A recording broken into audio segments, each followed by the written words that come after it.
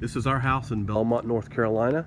The front wall of the house has a minor waterproofing problem. We need to excavate this front wall. We need to excavate the side wall here. As you can see, it goes down to a zero grade back to that point. It's about eight to nine feet deep here. So currently the water is coming in mainly in this area. So we want to take this all the way down to the to the foundation, which is about an eight to nine foot excavation. And then we want to um, install a French drain. Also going to be on this side of the house. You can see then, again, this is eight to nine feet up. And then the back of the house goes to daylight.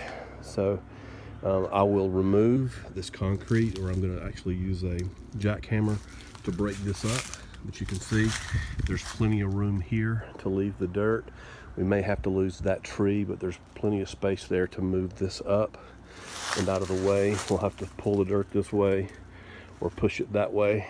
But um, what we're looking for is an excavator that can pull the dirt up.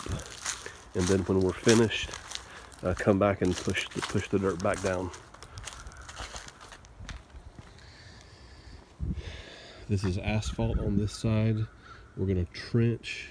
I'll put a, a asphalt saw. We'll have it cut right here, and there will be this will be jackhammered up as well.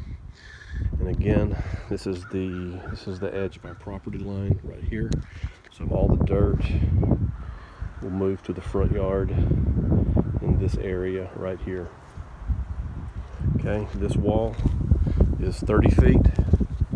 This wall of the house is 70 feet and the other wall is 30 feet as well.